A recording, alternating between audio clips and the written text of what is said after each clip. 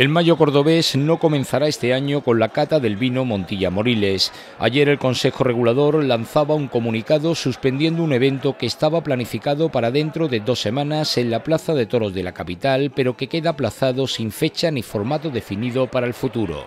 Quizás sea más una parada técnica que una suspensión. Realmente eh, entendemos que nuestra intención está en realizar un gran evento de promoción en Córdoba, como venimos haciendo desde hace más de 40 años, y, lo que queremos ver es si el modelo que teníamos era el que nos interesaba o no. Desde el punto de vista mediático, sí. Desde el punto de vista de asistencia y de éxito en la convocatoria, por supuesto que sí, pero realmente eh, estaba teniendo una trascendencia en la promoción de nuestros productos pues quizá a lo mejor en eso eh, teníamos que hacer una valoración, una reflexión mucho más eh, exhaustiva.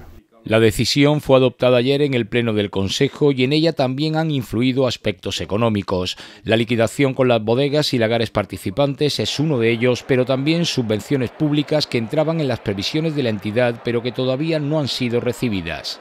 Eso es un problema accesorio que no es definitivo para, la decisión que hemos tomado, pero que también es, importante.